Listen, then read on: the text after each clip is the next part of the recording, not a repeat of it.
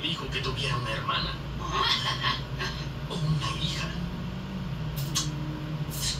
Oh, vaya. Creo que nadie me había besado la mano antes. Bueno, tus brazos son largos. Es un viaje muy cansado.